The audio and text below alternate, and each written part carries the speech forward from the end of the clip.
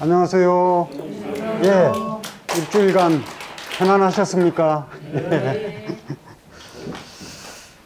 예, 지난 시간까지 이제 삼국시대 철학을 살펴봤는데요. 아, 참, 예. 지난 시간까지 어, 삼국시대 철학자들을 살펴봤는데, 어, 두분 다 불교 철학자였죠. 그리고 이제 이번 시간에는, 어, 한 시간에, 이번 이제, 어, 오늘 이 시간에 어, 두 분의 고려시대 철학자를 다룹니다. 어, 아쉽게도 고려시대 철학은 이번 이 강의 기간에는 오늘 하루만 다루기로 했습니다. 이후에 이제 조선시대로 들어가면 인물이 워낙 많아지기 때문에 또 비중도 굉장히 높은 분들이 나오기 때문에 할 수 없이 뭐 균여, 어, 의천 전부 이제 불교 철학자들이죠. 어, 또는 뭐 이재현, 이색 이런 이제 유학자들 어, 뭐 다 많지만 예, 오늘 이제 그 보조국사 어, 진울 뭐 진울 다 아실 겁니다. 예, 이른바 이제 시호가 불일보조죠, 불일보조 엄청난 시호죠.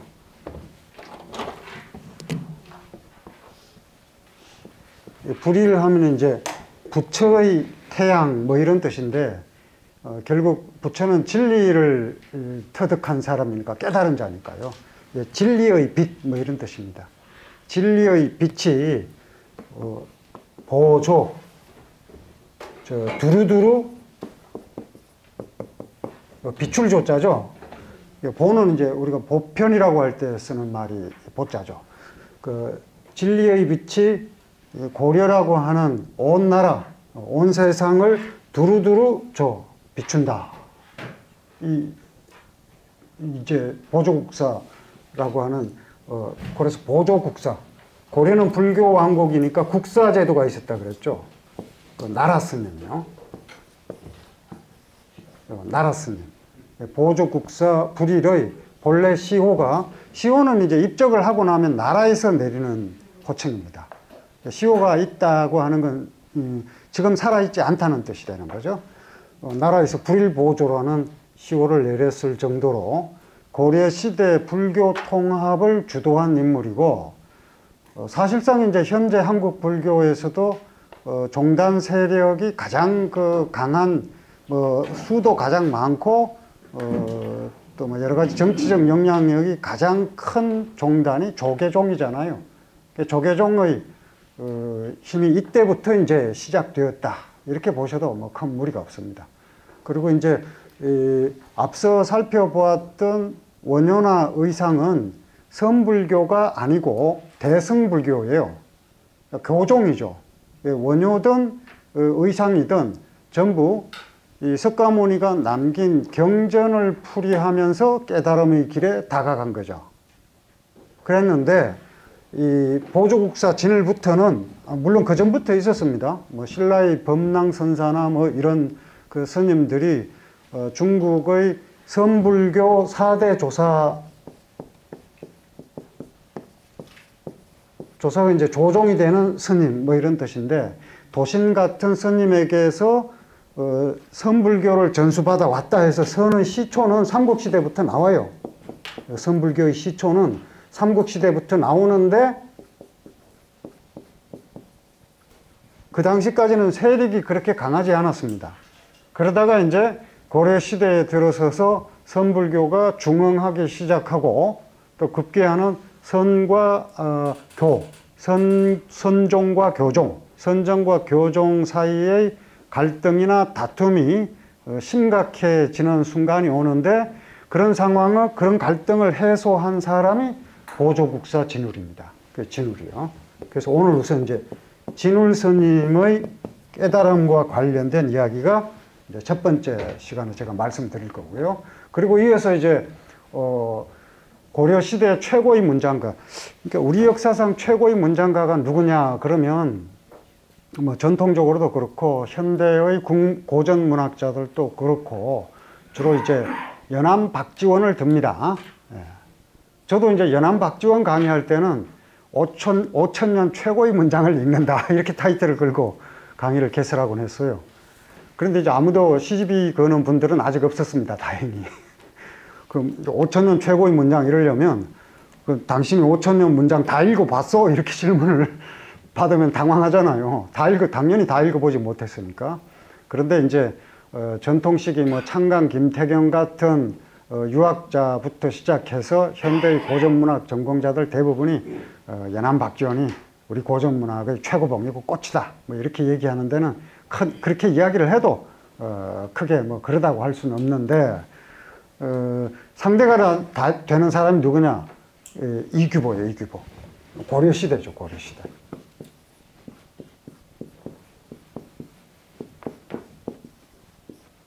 그 600년간의 그 시차를 두고 있으니까 사실은 어, 이규보와 박지원을 곧바로 비교하는 것은 에, 뭐랄까 이규보에게 당연히 불리할 수밖에 없겠죠. 어, 그럼에도 어, 고려 시대 최고의 문장가가 누구냐 그러면은 뭐 압도적으로 이규보다 이렇게 말씀드릴 수 있습니다. 그래서 바로 다음 시간에 이제 이규보라는 아주 문제적인 인물입니다. 예, 문제적인 인물을 함께 살펴보겠습니다. 그럼 먼저 진울 이야기부터 시작을 하죠. 진울은 선불교이기 때문에 선이 무엇인지부터 일단 이해를 해야 돼요. 제가 이제 드린 자료에 보면 앞쪽에는 보면 그 성교 일치를 추구했던 진울의 노력이 간단하게 기술되어 있습니다. 선불교가 왜이그 불교의 중심이 되었냐면요. 어, 이제 선의 기본은 어, 모, 모든 중생의 마음에 부처가 있다는 거예요. 그 부처가 있기 때문에 견성성불입니다. 자기 안에 있는 본성, 불교에서 말하는 본성은 불성을 뜻하는 거죠. 깨달음의 본성.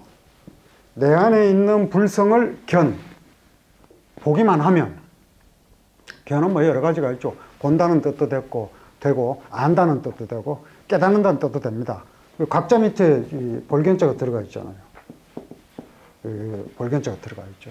안다 이런 뜻인데, 이제 아는 차원이 좀 다를 뿐입니다. 그 불성을 견, 보기만 하면 성불이에요, 그냥. 부처가 되는 거예요. 이게 이제 선불교의 종지입니다. 여기서 벗어나면 이제 선불교는 아닌 거예요. 뭐, 저, 여러 가지 그 어떤 지적 위계가 있다. 이렇게 되면은 부처의 지혜는 저 위에 있고 중생의 지혜는 저 아래에 있다. 이렇게 되면은 이 선불교는 아닙니다. 그런데 선불교는 이렇게 견성성불을 주장하고 있는 거죠. 그리고 이제 교라고 하는 거는 기본적으로 교종이라고 할 때 교라고 하는 거는 부처의 가르침에 의존하는 겁니다. 그런데 부처의 가르침에 의존하고 싶으나 부처가 뭐 신라 사람도 아니고 고려 사람도 아니고 중국 사람도 아니고 그렇죠. 인도 사람이잖아요. 역사적으로 실제했던 부처는요. 그럼 어떻게 해야 됩니까? 그 가르침을 들으려면 인도까지 가야 돼요. 네. 천주까지 가야 됩니다. 그런데 가봤자 그러면 석가모니 역사적인 역사적으로 실제했던 석가모니라는 인물이 생존해 있는 게 아니잖아요. 이미 세상을 떠났단 말이에요. 열반했어요. 그러면 남아 있는 게 뭡니까? 살아 있을 때는 말씀을 통해서 행동을 통해서 가르침을 가르침을 입을 수 있는데 세상을 떠나고 나면 그 말씀을 기록한 경정 이제 뭐 저 그렇죠 공자도 직접 저술한 게 없다고 봐야 됩니다 사실은 이제 뭐 논어에 보면 전부 자활자활 이렇게. 자활자활. 논어에 가장 자주 나오는 건 자활이죠. 그리고 공자활이 가끔 나오고요. 자활이든 공자활이든 전부 공자가 이렇게 말씀하셨다. 자활이라고 할 때는 선생님께서 이렇게 말씀하셨다. 이런 얘기거든요. 선생님께서 이렇게 말씀하셨고 나는 이렇게 들었다. 이런 얘기예요. 그래서 같은 내용을 기록한 것인데 제자마다 약간의 차이가 있죠.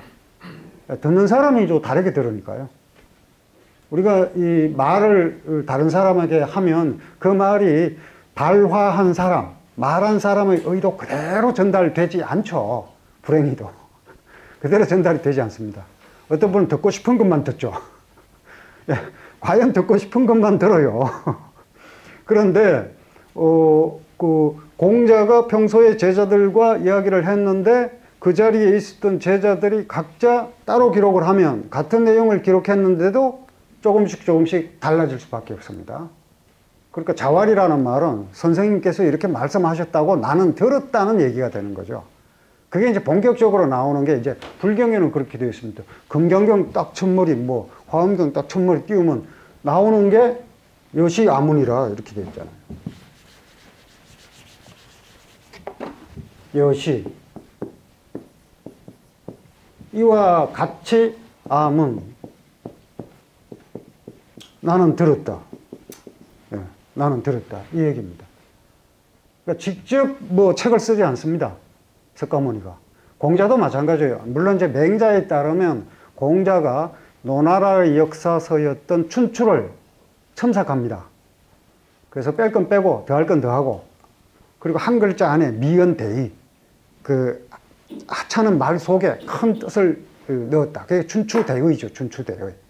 그래서 어떤 사람을 역사적으로 높이 평가할 때는 어, 포, 포장하는 그 사람을 높이 평가하는 말을 쓰고 그리고 또 어떤 사람을 역사적으로 낮출 때는 깎아내리는 표현을 썼다. 그 뭐 이를테면 송나라 화보 독이 졸하다 이러면은 대부가 저 그 제후가 죽었는데 졸자를 썼다. 이건 깎아내린 것이다. 원래 제후가 죽었을 땐흉 그러거든요. 요즘도 우리가 이제 사회적으로 어떤 명망 있는 사람이 세상을 떠났을 때는 어 뭐 그냥 별세 이렇게 쓰지 않고 뭐 서세, 서거 뭐 이런 말로 쓰잖아요.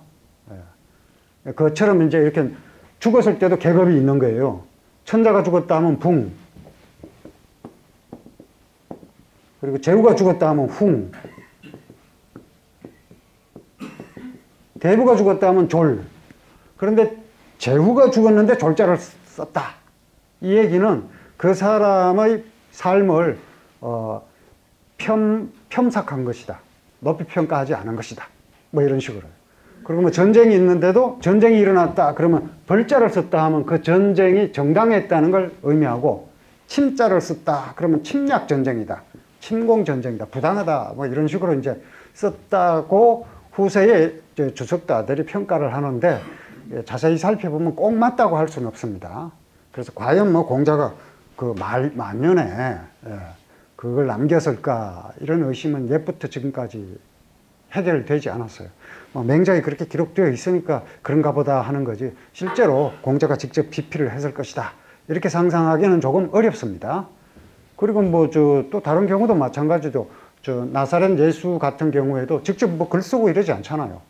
물론 땅바닥에 몇 자 써서 보여주기는 하지만 집필을 직접 하거나 하지는 않습니다. 전부 말이에요. 그리고 말의 힘은 그 같은 공간에 있는 사람들에게 직접적으로 이 공기의 진동을 통해서 전달되는 거지 멀리 퍼질 수가 없잖아요. 멀리 퍼지려면 기록으로 남아야죠. 기록으로 남으려면 이제 문자가 되는데 문자가 이제 세상에 어, 너무나 다양하잖아요. 그러니까 번역하지 않으면 이해할 수가 없겠죠. 그 인도의 뭐, 저 팔리어나 뭐 산스크리트, 산스크리트나 이런 걸로 기록된 것들이 중국인들에게 이해되기 위해서는 어떻게 해야 됩니까? 결국 그 당시 중국 문어, 그러니까 중국 말이 아니고요. 중국 고대 한어로 번역이 돼야 됩니다. 그런 이제 번역가들이 뭐 어, 구마라섭이니 뭐 용순이 뭐 삼장이니 또 이제 신라의 원척이니 이런 사람들이 이제 번역을 해서 어 이제 인도어로 되어 있던 불경이 이 중국의 스님들에게 또 뭐 일반 대중 독서인들에게 이해되기 시작한 거죠. 그걸 이제 또다시 번역해야 되는 게 이제 현대 한국 불교, 불교학자들의 과제라고 할 수 있습니다. 다 해야 되니까 갈수록 공부하기 힘들어지는 거죠. 마찬가지입니다. 이렇게 불교가 남긴 경전, 그, 저, 석가모니가 남긴 말씀을 기록한 경전, 그게 교거든요. 교. 그 경, 남아있는 경전을 연구하는 수밖에 없는데, 어, 그 경전은 제가 방금 말씀드린 것처럼 여러 가지 한계가 있습니다. 어쨌든 이제, 그, 상당히 변형된 형태로 우리에게 전해질 수밖에 없는 거죠. 그런데 이제 선이 바로 그런 문제를 타개합니다. 선은 어, 나의 깨달음을 위해서 깨달은 자에게까지 굳이 가지 않아도 돼요. 내가 이 자리에서 깨달으면 됩니다. 이, 이 자리에 있는 나에게 불성이 없다 치면 석가모니에게도 불성이 없다 이렇게 돼요. 내 마음이 없으면 부처의 마음도 없다 이렇게 됩니다. 그러니까 굳이 뭐 중국이나 인도로 가지 않고서도 어, 내가 있는 이 현실, 이 안전 자리에서 직접 깨달을 수 있다는 거죠. 과연 성공적이냐 아니냐, 그건 뭐 그 다음 문제고요. 그게 이제 선의 시, 작입니다 그리고 이, 이, 여기 보시면 이제 두 번째 문단에 보면 두 번째 선의 이해 이렇게 되어 있죠. 그러니까 한국 철학을 하려면 일단 한국 철학의 뿌리가 되는 그 동아시아 지성사 맥락을 어느 정도 파악을 해야 되거든요. 선불교도 아닙니다. 어, 예외가 아닙니다. 왜냐하면 선불교가 중국에 없고 인도에 없고 뭐 신라나 고려에서 갑자기 생긴 불교 철학이 아니거든요. 큰 맥이 있는데 그 맥을 어, 살펴보면서 진울에 접근해야 진울의, 볼, 진울의 본래 뜻을 이해할 수 있는 거죠. 그래서 저 우선은 조금 그 시간이 걸리더라도 어, 선이 어떻게 시작됐는지를 먼저 살펴보겠습니다. 보시면 선의 이해 이렇게 되어 있고요. 그뭐 선은 여러분들이 상식적으로 뭐 다 아시다시피 달마대사 중국 선불교의 역사는 달마가 일대 조사죠. 이제 어, 그 달마가 일대 조사인데 그게 이제 육조 해능까지 이어지죠. 뭐 제가 거기에 써놨습니다. 근데 그 전에 이제 한번 보죠. 그 선의 이해 이렇게 되어 있고 첫 번째 문단 보시면요. 제가 선종은 유래가 불분명합니다. 이렇게 적어 놨어요. 이게 아마 성불교에 종사하는 분들이나 어, 선을 통해서 깨달음에게 깨달음에 이르려고 하는 사람에게 어, 당황스러울지 모르나 그렇지는 않습니다. 그 유래가 불분명해요. 문헌학적으로. 한번 살펴보시죠. 어, 선은 달마 대사부터 시작됐는데 달마 이전은 알 수 없는 거죠. 그런데 선불교의 역사 속에서 중요한 비중을 차지하는 대범천왕 문불불이경이라고 있어요. 범천왕이 부처에게 물어서 결이 의심스러운 것을 결, 판결하는 그 내용을 적은 경전이 어, 거기에 인용이 되어 있습니다. 한번 보시죠. 그 어느 날 범왕이 영치산에 올라 영치산이 이제 석가세존이 머무는 곳이거든요. 석가세존에게 꽃을 바치고 가르침을 여쭈었다. 그랬더니 석가세존은 사자좌에 올라 꽃을 들고 꽃이 이제 영화죠, 영화.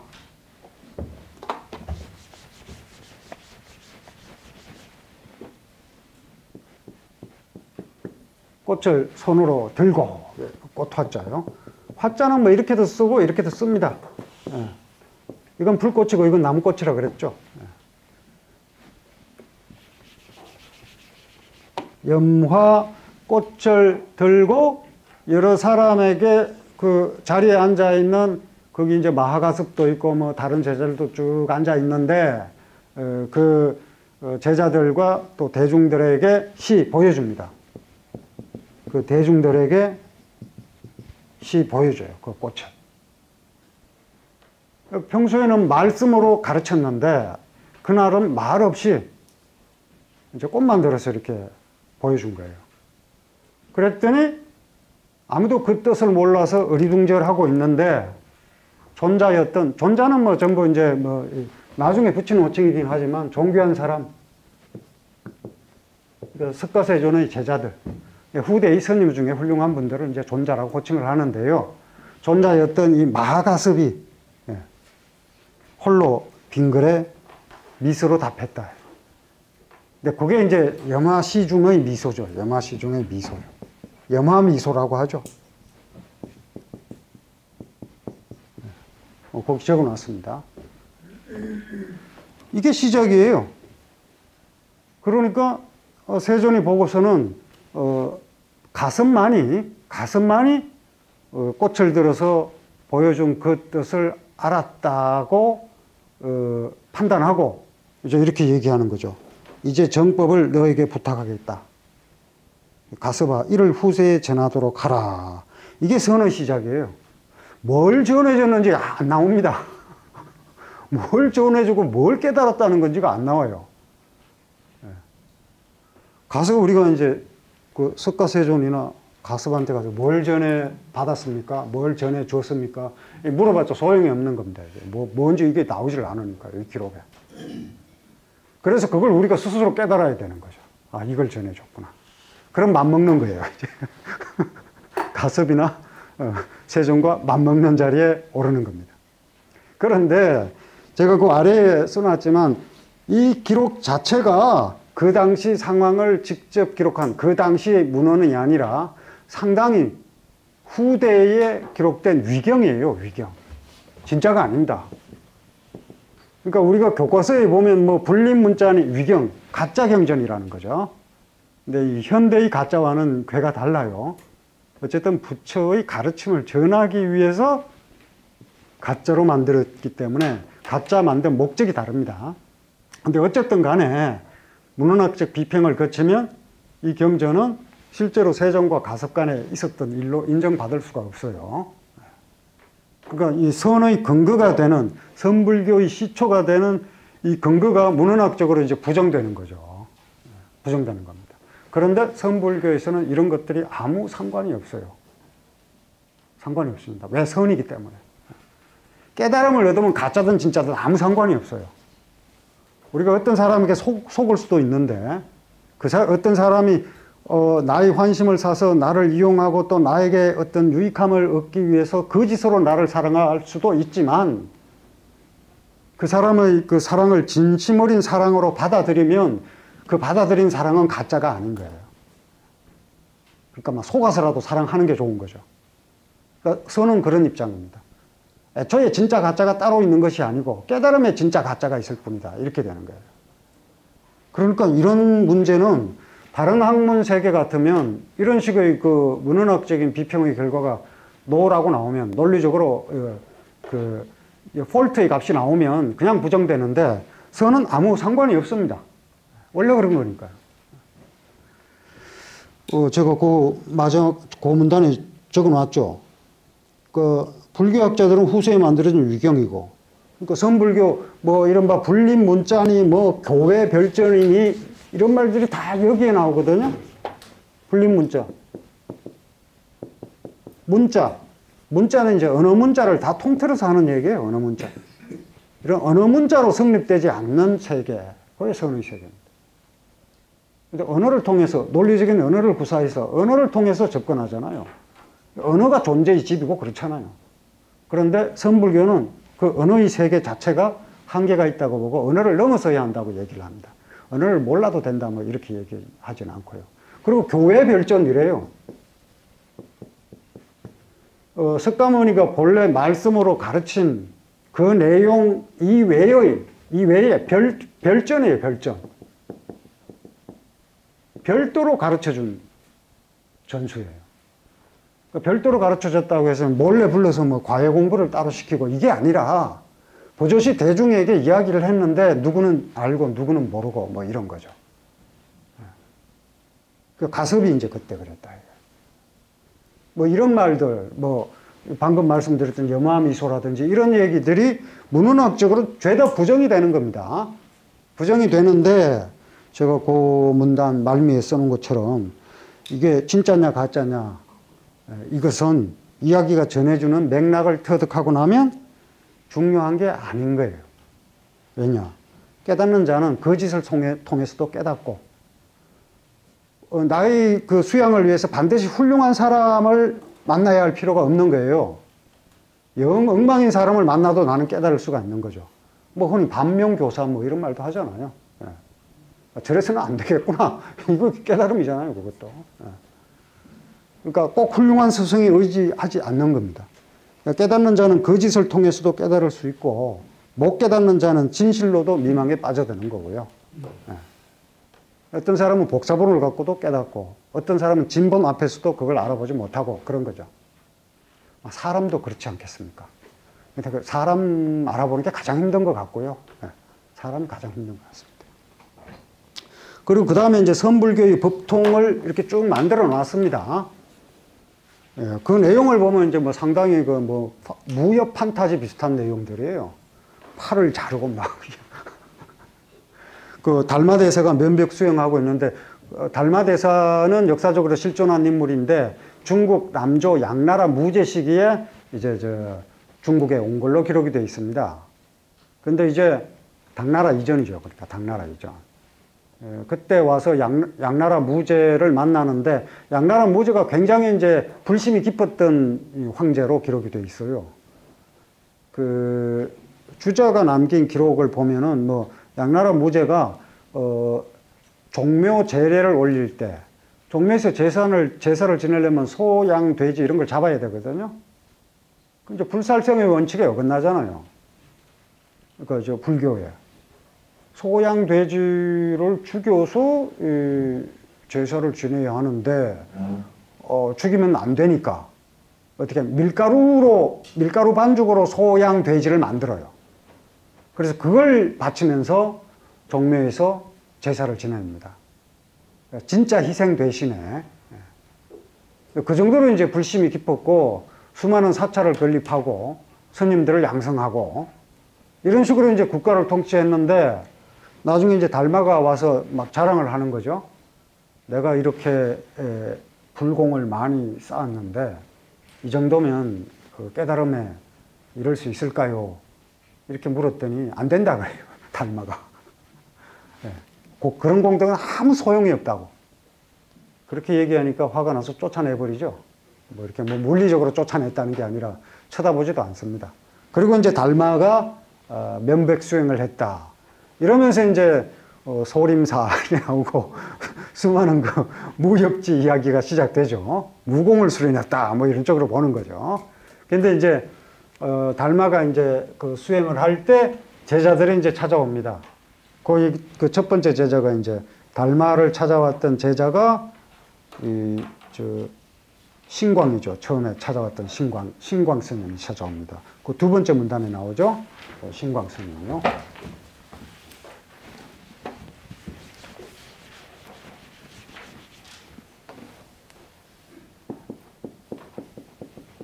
신광 스님이 찾아왔다. 그리고 이제 그, 그러니까 이제 신광이 이대 조사가 되는 거예요. 그리고 그 다음에 해가 나오죠. 해가.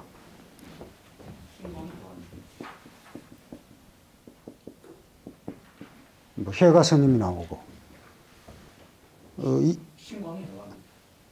아, 예, 신광이 해갑니다. 예, 거기 그렇게 적어 놨죠. 신광이 마음속에 끊임없이 번뇌가 일어나서 찾아오니까 어, 달마가 만나보고는 해가라는 시- 어, 법포를 내려주죠. 그 해가입니다. 그 해가가 이대조사입니다. 어, 그리고 뭐 그 내용을 읽어보시고요. 그런 식으로 이제 뭐 해관이 성찬이니 도신이니 이런 식으로 이제 쭉 전수가 되어 오다가 어, 5조가 홍인대사고 6조가 저 유명한 해능대사예요. 6조 해능. 그리고 해능대사가 선불교의 요체를 밝힌 책이 이제 6조 단경입니다. 6조 단경을 보면 어, 이 해능 선사가 어떤 식으로 수련을 했는지 그 삶을 간략하게 기술한 전기와 함께 깨달은 이후의 행적까지도 기록되어 있습니다.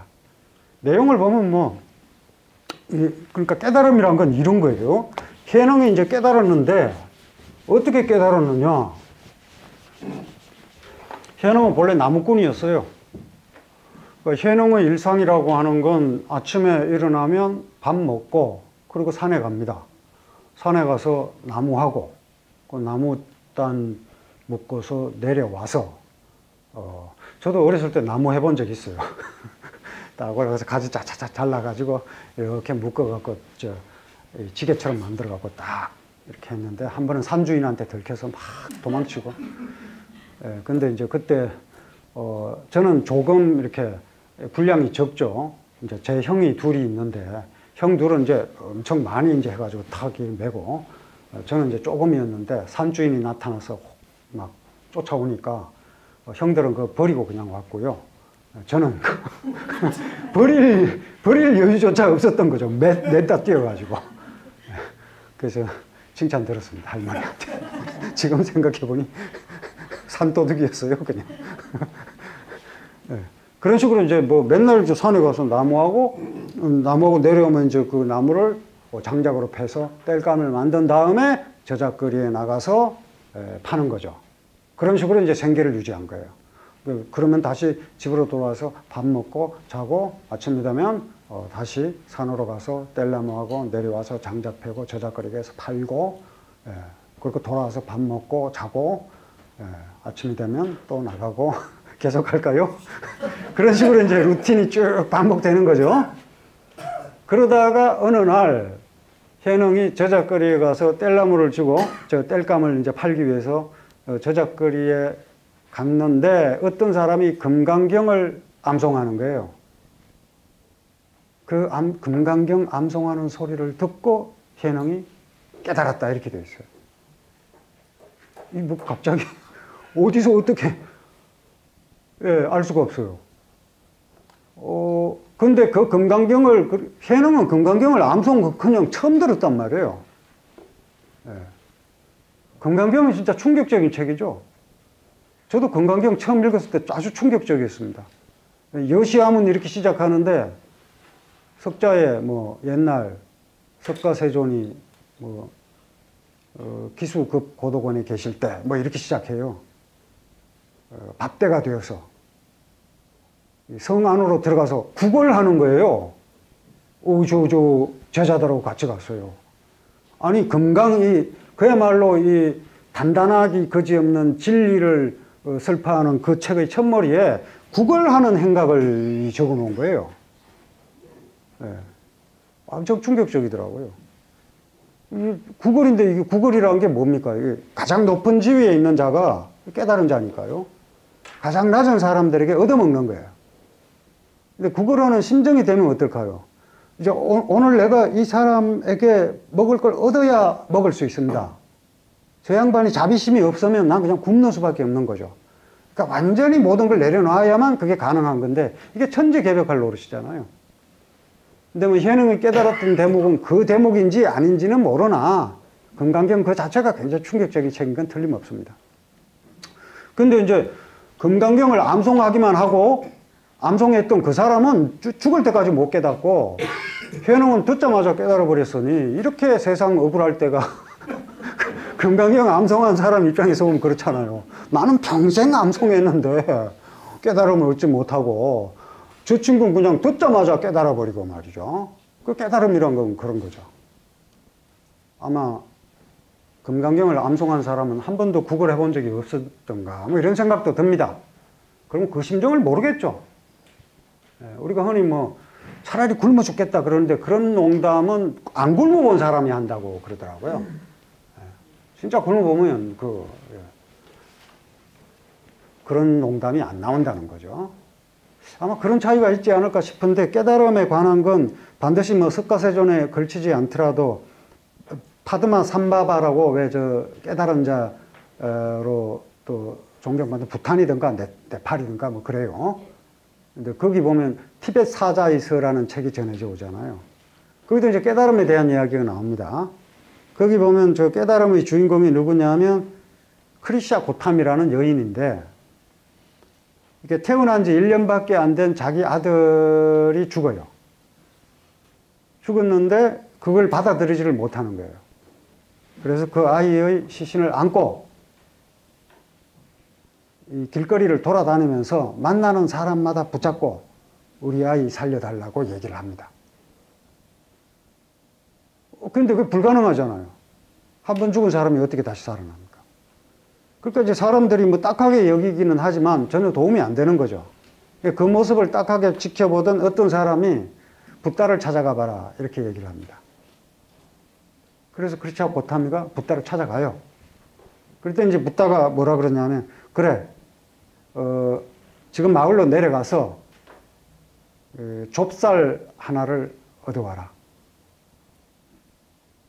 그런데 지금까지 아무도 사람이 죽은 적이 없는 집을 찾아서 어, 좁쌀이에 겨자씨, 겨자씨, 겨자씨, 겨자씨 하나를 얻어와라. 이렇게 얘기를 해요.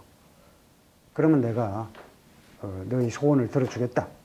이렇게 이야기를 하니까 예, 이제 크리샤 고타미가 마을로 내려가서 집집마다 문을 두드리면서 겨자씨를 달라고 해요.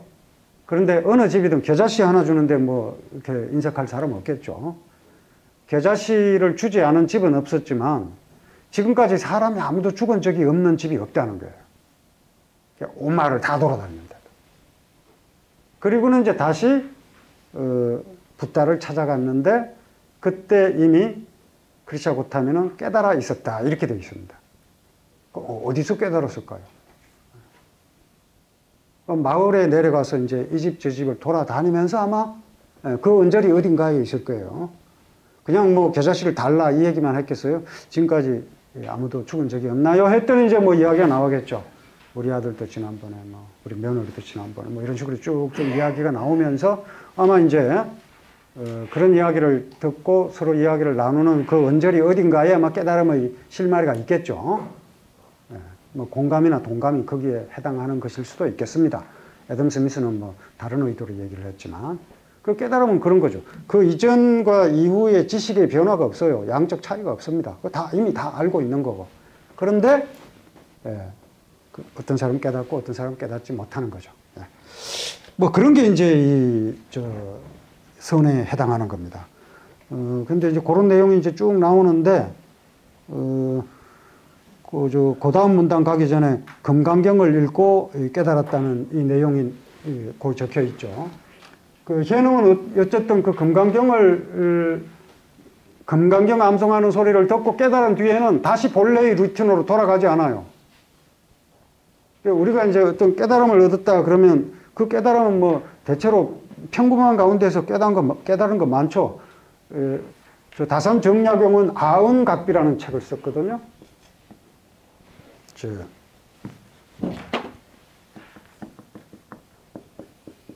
아은은 평범한 말입니다. 평범한 말, 평범한 일상이에요. 그 평범 속에서 각, 뭘 깨닫냐면 내가 틀렸구나 하는 사실을 깨닫는 거예요. 그 각비. 각비 제가 아주 좋아하는 말입니다. 아, 내가 아니, 그게 아니었구나 하는 걸 깨닫는 거죠. 일상 속에서 이제 깨닫는 거. 그러려면 기존에 해왔던 일상을 바꿔야 되거든요. 깨달으면. 아, 이렇게 살아서는 안 되겠구나. 뭐 이런 깨달음이 있을 수도 있고요. 이렇게 살아도 되나? 이런 식으로 질문을 던지는 깨달음도 있을 텐데, 대체로 이제 그런 깨달음이, 어, 종종 일어나지만, 어, 큰 깨달음으로 이어지질 못하죠. 왜? 그, 이, 전까지 그 뗄나무 하던 그 일상을 벗어나지 못하니까요. 내가 절대 옛날에 이런 말 많이 들었습니다. 제 선배 중에 누군가. 내 이제 술 마시면 뭐 성을 갈겠다. 뭐 이런. 그냥 그 다음날 막 속이 너무 괴롭고 하니까 내가 다시 술 마시면 뭐 성을 갈다. 뭐 이래 놓고는 저녁에 이미 술 마시고 있어요. 그러니까 야, 이렇게 괴로우니까 했으면 안 되겠다는 깨달음이 있었지만 그 본래 그 술 마시던 그 루틴을 깨지를 않으니까 현능이 나무하러 다시 돌아간 것과 다를 바가 없는 거죠. 예, 깨달음을 이루려면 그런 노력이 필요한 것 같습니다. 그리고 이제 6조 단경으로 넘어가 보시죠. 그 6조 현능의 가르침 이렇게 되어 있는데 아주 뭐 단호합니다. 이런 문장 보면요. 예. 거기 첫 번째 보면 이렇게 되어 있잖아요. 일체 경석은 문자, 소대 이성 12 경부, 뭐 이런 거요. 그러니까 모든 불교의 경전, 또 문자, 뭐 소승이니 대승이니 뭐 시부부의 경전이니 뭐 이런 것들 예, 이거 전부 사람 만든 거고 예, 그게 절대 진리가 될 수 없다는 얘기입니다. 모두 사람으로 말미암아 있게 된 것이니 지혜의 본성에 연유한 까닭으로 세울 수 있는 것이다. 그 성립의 근거는 뭐냐? 사람들이 모두 이 불성, 지혜의 본성을 갖고 있기 때문에 세우는 것이다.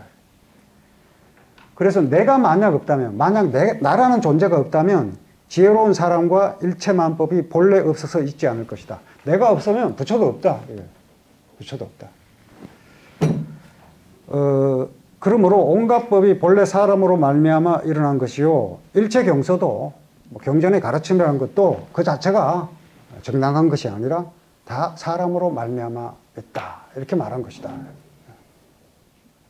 엄청난 얘기입니다. 왜냐하면 우리는 이제 어떤 경전의 가르침과 일치하지 않는다는 이유로 어, 기존의 뭐 관습과 어, 맞지 않는다는 이유로 또 어떤 권위와 부합하지 권위에 복종하지 않는다는 이유로 그 도덕적으로 이제 비판하기도 하고 비난하기도 하고 배제하기도 하고 뭐 이러잖아요. 그런 게 아무 근거가 없다는 얘기예요. 그런 게. 그러니까 기존의 관습적 도덕률을 타파하는데 아주 강력한 힘을 갖고 있죠. 어, 어, 뭐, 저 풀이는 넘어가고요. 예. 그리고 그 다음 페이지에 가시면 이제 6조 단경 견성편이 나오죠. 그 부분은 이제 중요하니까 한번 보겠습니다. 인용문요. 그러므로 깨치지 못하면 부처가 곧 중생이요. 아무리 부처라고 하나 깨달음이 사라지면 그냥 중생에 지나지 않는다. 그리고 한 생각에 깨치면 중생이 곧 부처임을 알아야 할 것이다. 자기가 그랬거든요. 딱 깨치기만 하면 바로 부처다. 그러므로 일체의 마음법이 다 자기의 몸과 마음에 있다는 걸 알아야 할 것이다. 그 극단적인 유심론입니다. 마음이 모든 걸 다 결정합니다. 그런데 어찌하여 자기의 마음을 따라 진여의 본성을 진여는 진실과 저 진리와 같은 거예요. 본래 그대로 있는 그 본성을 단박에 드러내지 못하는가. 보살계경에 이르기를 나의 본래 근원인 자성이 청정하다. 이제 현흥에게는 자성이 곧 불성이에요. 자성. 나의 본성이 곧 불성입니다. 청정하다고 했다.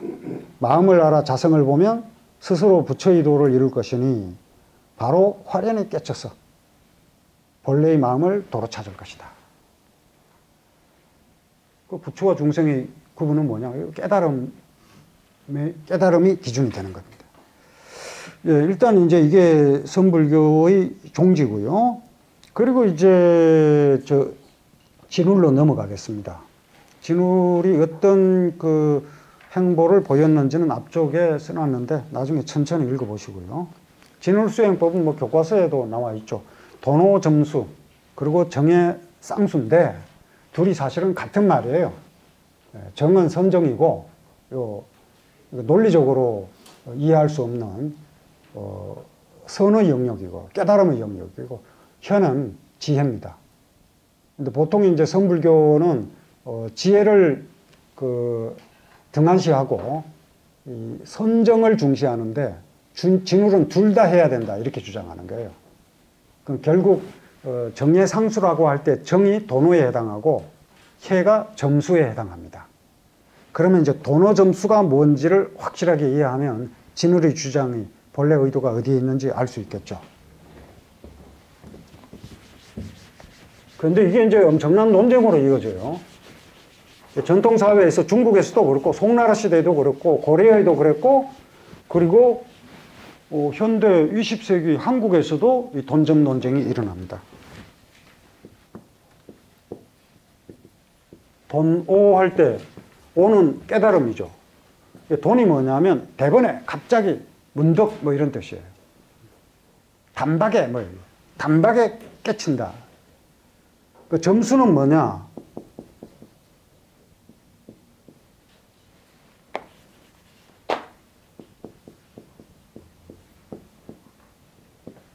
요거 이제 수행이에요. 뭐 육아에서는 수기, 수양 뭐 이런 뜻으로 쓰죠. 점은 점점 조금씩 뭐 이런 뜻. 점점 조금씩 수양하는 거예요. 요게 이제 어, 정의 상수 할 때 해에 해당하는 겁니다. 그리고 이제 이 도노가 이제 정에 해당해요. 선의 깨달음에 해당하는 거예요. 그런데 진호는 이 둘 다 해야 한다. 점수 끝에 도노가 일단 먼저 있다 하더라도 점수하지 않으면 그 깨달은 도노의 이 깨달음이 사라지고, 어, 그리고 점수를 하게 되면 또 도노의 경지에 이른다. 따라서 둘 다 해야 한다. 이렇게 주장하는 게 어, 진울의 입장이에요. 그런데 이게 이제 돈점, 돈과 점을 같이 해 나간다는 주장인데, 어, 송나라 시대에도 이미, 어, 도노 돈수가 나와요. 도노 돈수. 돈은 단박에 깨닫는다는 뜻이지만 수에도 돈자를 붙여요. 수행도 단박에 한다. 이게 이제 이해하기 어려워요. 근데 어 제가 그 뒤쪽에 얘기를 해놨습니다만 이 저 성철 스님이 20세기 성철 스님이 도노 돈수설을 내세워서 진울의 도노 점수설을 비판합니다. 아마 비판도 뭐 이만저만 하는 게 아니에요. 나쁜 뿌리가 자라났으니 뽑아버려야 한다. 뭐 이렇게 주장을 해요. 근데 이제 그 문제의 논쟁이 선문정로라는 책에 글을 쓰면서 일어났는데 지금까지도 뭐 해결이 안 됐다고 봅니다. 그 도노 돈수냐, 도노 점수냐. 그런데 어 사실 그 학문적으로 접근하면 도노 점수는 이해가 돼요. 그런데 도노 돈수는 과연 산중의 수행이 어떠한지 모르나 학문적으로 접근하기가 힘듭니다. 제가 사실 도노 돈수를 어, 도노돈수의 그 어, 구체적인 어떤 실상을 여러분들에게 전달해, 전달하기는 힘들어요. 논리적 영역이 아니기 때문에요. 근데 어쨌든 도노 점수를 제대로 이해하면 도노 돈수가 아, 도노 점수를 제대로 이해하면 도노 점, 도노 돈수가 어떠한지는 아마 짐작은 할 수 있지 않을까 싶습니다. 일단 그걸 한번 살펴보도록 하죠.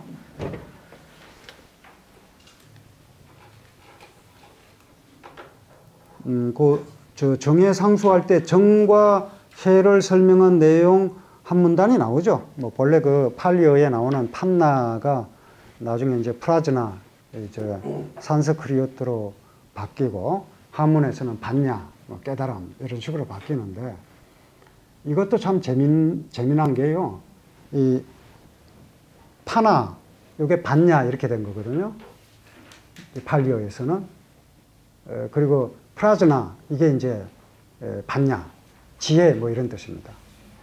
근데 이게 참 재밌는 재미난 게 그럼 지혜가 어디에서 비롯되느냐? 어, 그럴 때는 플라즈마 파라미터라고 이 지금 철자가 다 써질려나 모르겠습니다.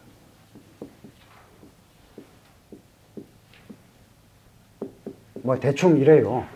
제가 산서 산서크리트를 크리트를 못하니까 대충 이제 알파벳으로 표기하면 이 정도가 되는데 이게 지혜의 어머니예요.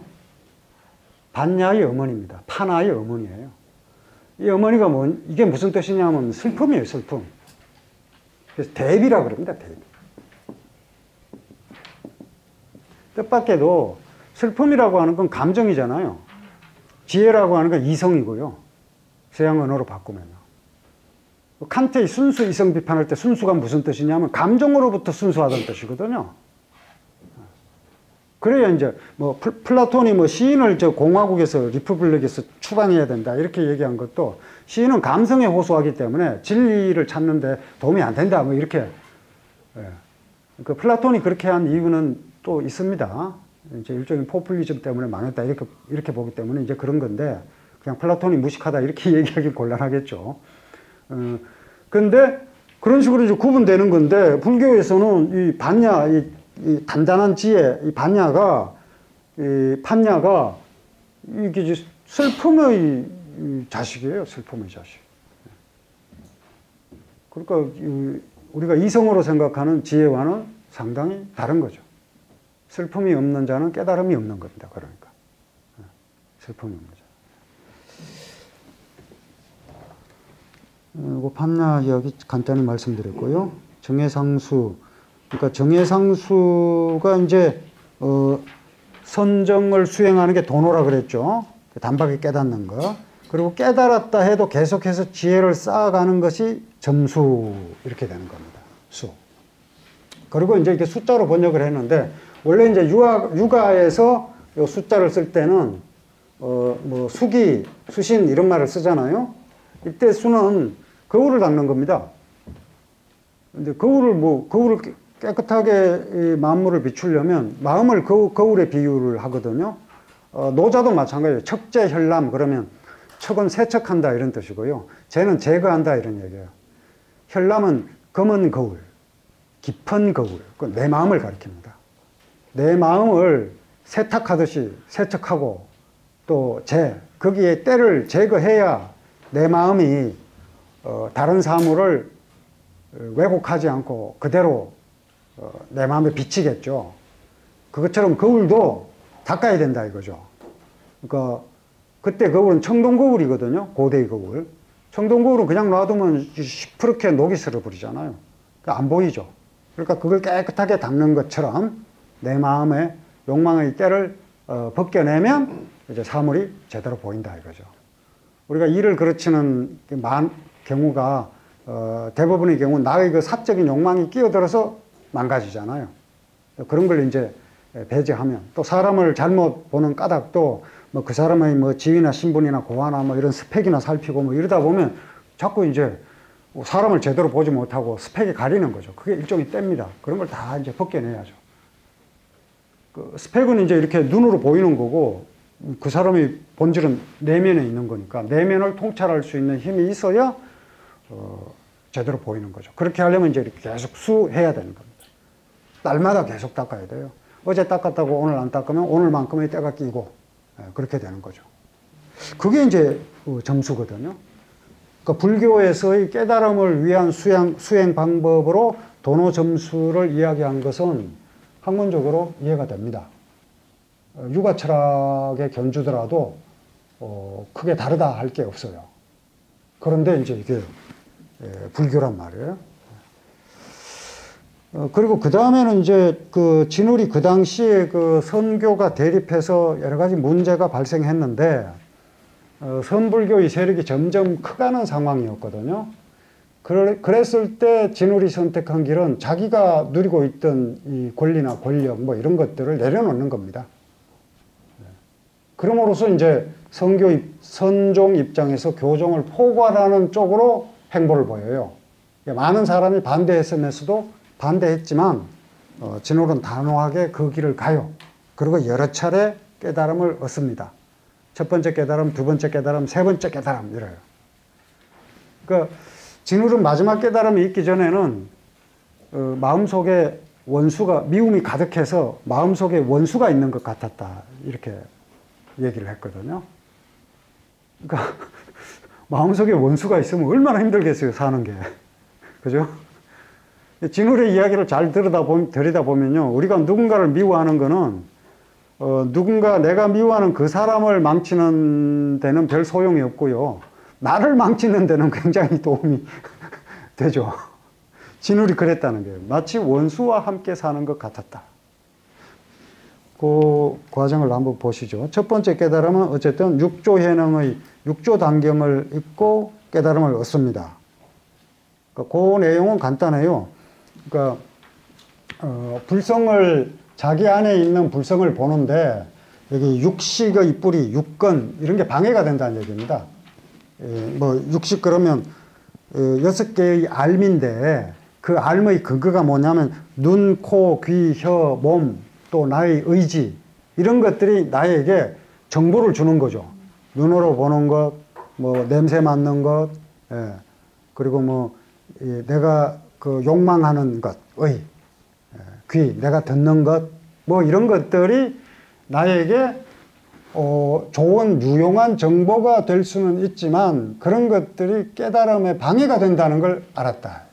육조 단경을 읽으면서 그게 이제 첫 번째 깨달음입니다. 이것만 해도 사실 우리하고 우리가 일상적으로 살아가는데 에, 거꾸로 얘기하는 것과 같죠. 우리 뭐 많이 알아야 되잖아요. 잘 보고 잘 듣고 뭐 이래야 외부 상황을 정확하게 인식하고 경랑을 헤쳐나갈 수 있고 이렇게 생각하는데 불성에는 오히려 그런 것들이 방해가 된다. 예. 그게 이제 첫 번째 깨달음입니다. 그리고 이제 그 다음에 화엄경을 읽다가 열애 출현품을 읽다가 어, 깨닫습니다. 그, 그 다음 문단에 보면 지혜는, 지혜는 중생의 몸에 있다. 예, 그 문단에 나와 있습니다. 그 한번 보시죠. 두 번째 심길전, 두 번째 깨달음이 나오는데 그 스스로 선종의 조사지만 화엄경, 화엄경 경전이잖아요. 거기 이제 열의 출현품이 있거든요. 어, 열의 지혜가 중생의 몸 가운데 있건만 어리석은 범부는 스스로 알지 못하도다. 모든 사람, 모든 중생의 몸 안에 어, 깨달음의 그 주체가 되는 불성이 있다는 걸 알았다. 어, 결국 화엄경의 종지가 선불교의 종지와 같다 이런 결론이 나오는 거죠. 그러니까 성교 통합이 가능한 거고요. 어, 그리고 세 번째 깨달음이 그 적혀져 있는데요.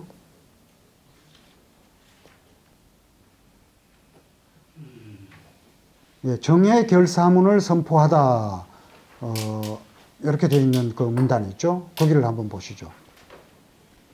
1190년에 진울은 몽선화상과 함께 팔공산 거조사로 옮긴 뒤 결사를 약속한 동지를 모아.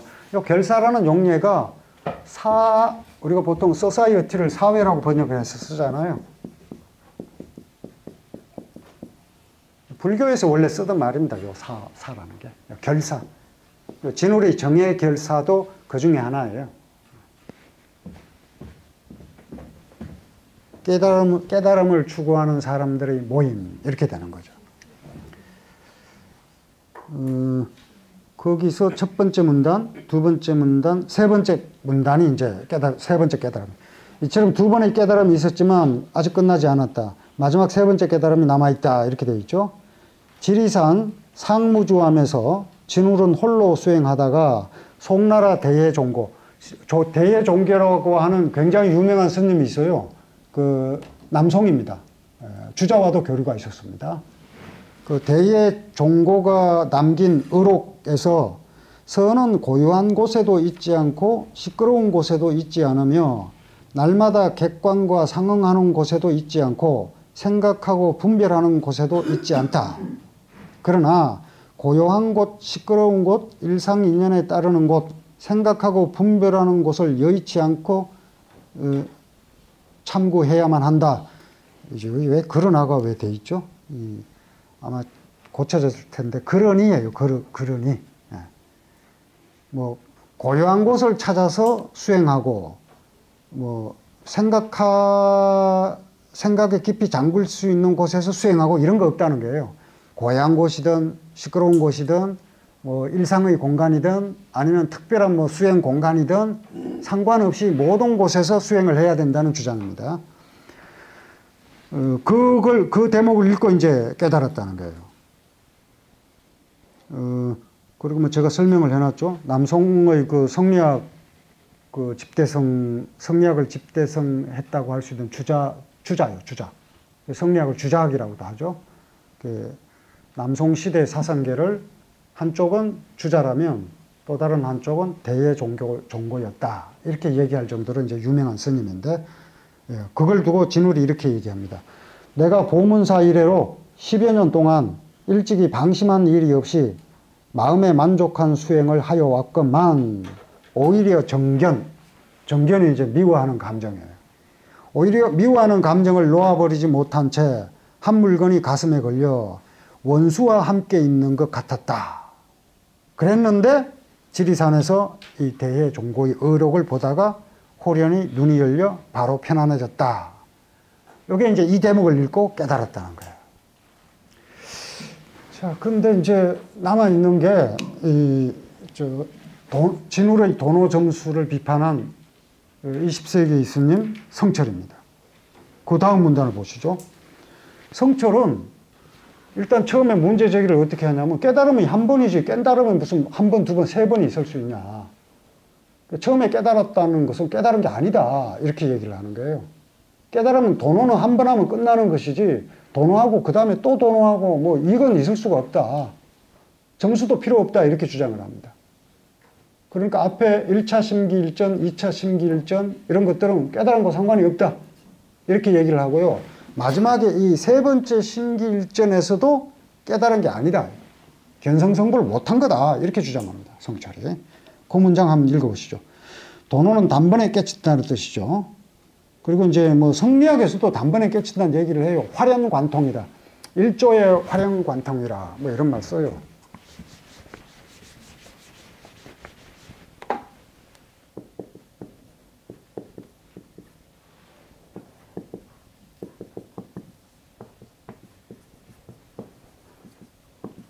수행을 조금, 조금씩 조금씩 해 나가다 보면 어느 날 아침 갑자기 화련히 사물을 꿰뚫어 볼 수 있게 된다. 뭐 이런 뜻이거든요.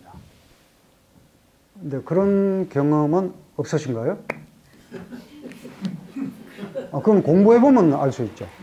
공부해보면. 네. 화련관통. 왜냐하면 제가 저 한문 처음에 공부할 때요. 아무리 공부를 해도 이저 느는 것 같지를 않더라고요. 아무리는 아니고 뭐 조금 공부해봤는데 늘지를 않아요. 여전히 뭐 모르는 글자는 사전 찾아야 되고 어디에서 끊어 읽어야 할지 알 수 없고 뭐 이랬는데 제가 여름 말씀드린 적 있죠. 여름 방학 두 달 동안 기숙사에서 그냥 그것만 팠다 이거예요. 봤는데 두 달 지나고 나니까 뭐 크게 활용하지 못했지만 활용 관동 되더라고요. 그때부터 끊어 끊어 읽기 시작한 거예요. 그 전까지는 저 거기에 뭐 점도 없는데 이거 끊어집니까? 저절로 끊어지더라고요. 예. 그 음악을 들을 때도 뭐 그런 경험이 있고요. 처음에 들을 때는 뭐 이게 앞인지 뒤인지 뭐 1악장인지 4악장인지 전혀 구분이 되질 않다가 나중에는 이제 처음부터 끝까지 다 알게 되거든요. 그러니까 점수의 결과 활용관통한다는 게 주작의 입장입니다. 그냥 그것도 하지 않고 가만히 앉아 있다가 깨닫는 게 아니라 수행을 조금씩 조금씩 해 나가다 보면 어느 순간 도약이 일어난다는 거예요. 아마 그 야구할 때 그, 그렇지 않습니까? 야구할 때. 저 뭐 야구 잘 못합니다만 뭐 그래도 왜 요즘 별로 없는데 그 기계로 기계가 공을 공을 날리면 이게 받아치는 거 있지 않습니까? 그걸 할 때 처음에는 하나도 못 맞췄습니다. 괜히 이제 돈만 계속 갖다 넣은 거죠. 근데 그걸 자꾸 자꾸 하다 보니까 공이 보여요. 공이 보입니다. 그러다가 이제 맞히는 단계가 돼요. 그러다가 이제 나중에 이제 치는 단계가 되죠. 물론 지금은 뭐 못 칩니다만. 그 어렸을 때. 예.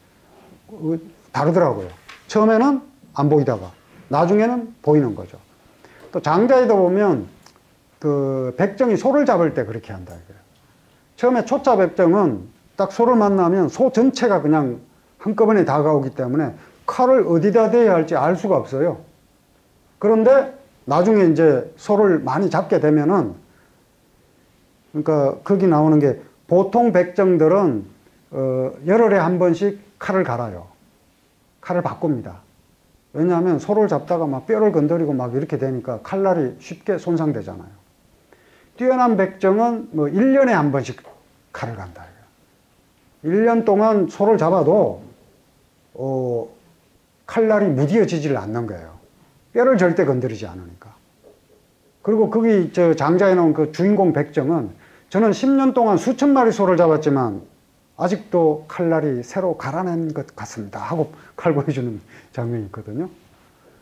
살조차 안 건드리고 뼈와 살 사이의 빈틈을 칼날이 이렇게 지나간다는 겁니다. 예.